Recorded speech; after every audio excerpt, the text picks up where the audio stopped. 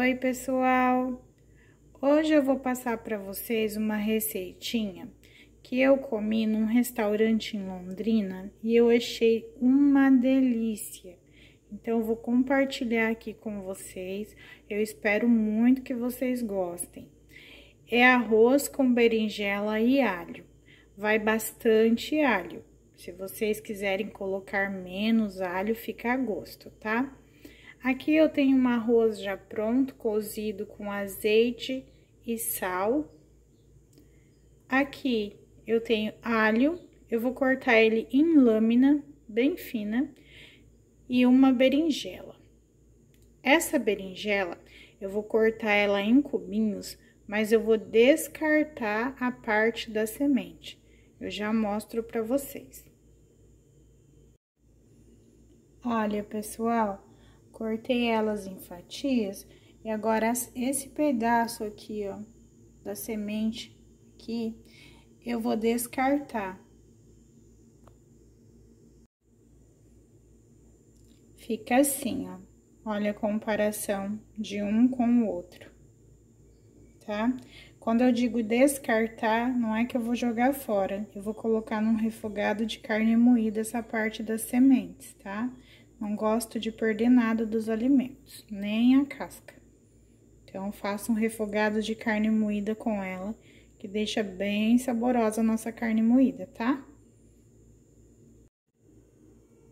Prontinho, já cortei nossas berinjelas em cubinhos. Temperei com um pouquinho de sal e um pouquinho de óleo só para não oxidar.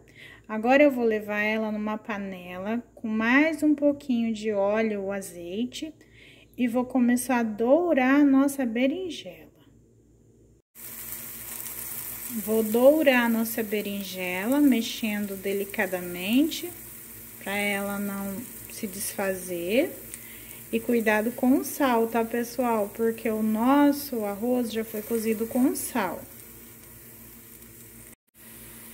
Nossa berinjela foi mudando de cor.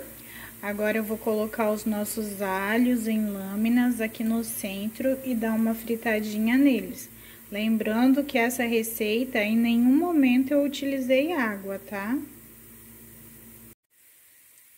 Coloquei o nosso alho para fritar. Não pode deixar ficar muito escuro, tá, pessoal? Para não ficar amargo. E como eu falei, quem não gostar de alho é só não colocar. Mas eu tentei reproduzir o prato aqui, assim como eu comi no restaurante. Agora, eu vou acrescentar o nosso arroz e mexer delicadamente para ficar inteira a nossa berinjela. Prontinho, nosso arroz com berinjela e alho está pronto. E para você que gosta de berinjela, experimenta essa receita que é uma delícia. Eu espero muito que vocês tenham gostado e até o próximo vídeo, pessoal!